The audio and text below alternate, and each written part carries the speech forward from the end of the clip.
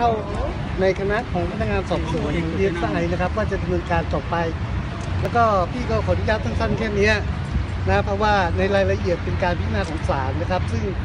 ซึ่งซึ่งเราไม่ไม่สมควรที่จะพูดนะครับ ก็มีให้ให้ให้มีการนัดให้ออกหมายจับแล้วจะดำเนินการตามกฎหมายต่อไปนะครับต้องต้องเข้าคณะคณะของดีไซน์ซึ่งเรามีการร่วมร่วมหลายหลายฝ่ายตามขั้นนะตคอรันของกฎหมายเราต้องครับไปตาแจ้มงขั้นตอนยังไงกครับฎหมายครับ ตามขั้นตอนเราต้องทำยังไงต่อไปบ้างครับ ยังไงครับ ก็ก็ต้องดำเนินการครับเข้าที่ประชุมก่อนครับว่า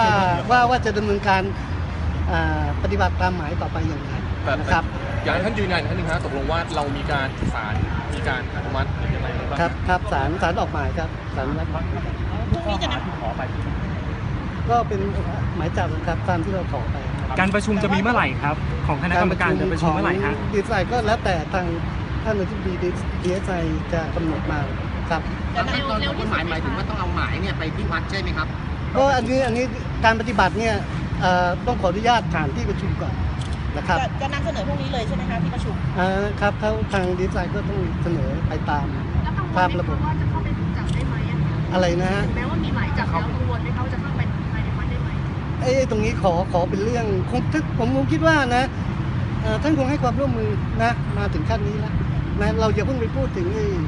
ปัญหาที่มันมันเออมันถึงงั้นเลย ผมคิดว่าทางทางทนายความทางอะไรก็คงทราบข้อกฎหมายดี ก็คงจะร่วมมือคงไม่เราไม่อยากให้มันมีอะไรที่มันเกินเลยนะอยากให้ไปตามกรอบ ท่านก็มาพิสูจน์ด้วยการแก้ข้อกล่าวหาตามกระบวนการของวิธีพิจารณานะครับ ก็เหมือนกันทุกทุกท่านที่ที่ที่อะไรที่อยู่ในคดีอาญาเหมือนเหมือนกันครับ บังคับการปฏิบัติเหมือนเหมือนกัน